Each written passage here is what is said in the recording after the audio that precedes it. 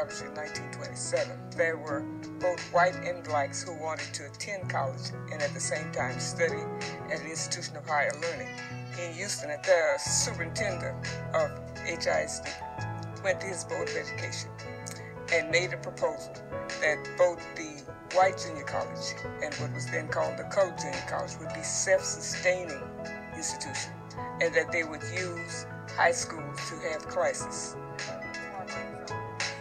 By the time we reached 1934, the University of Houston, through their legislators, presented a proposal to the state asking that the University of Houston would become a four-year institution.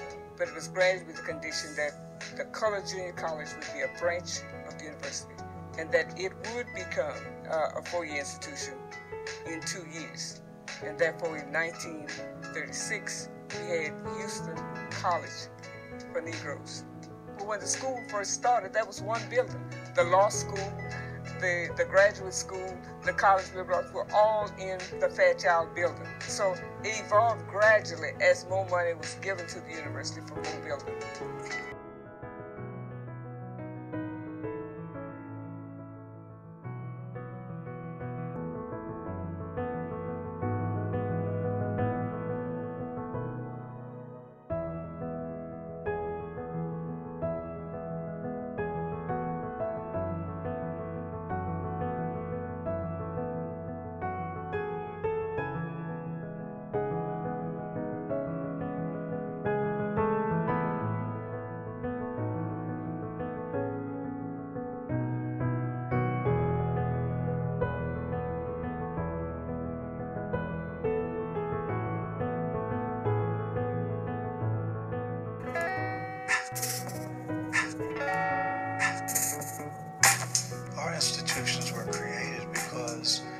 Students, African American students, if going to be very specific, who could not attend anywhere else. If you were in Texas, uh, you could attend Texas Southern University, you could attend Prairie View A&M University, and then a host of private HBCUs in East Texas.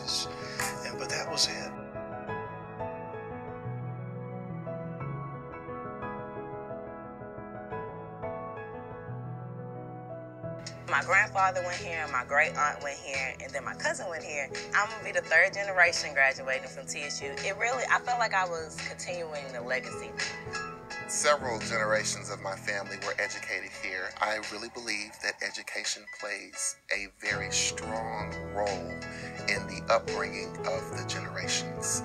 Not just for, you know, the knowledge sake, but knowing your history, knowing how things came into being as they are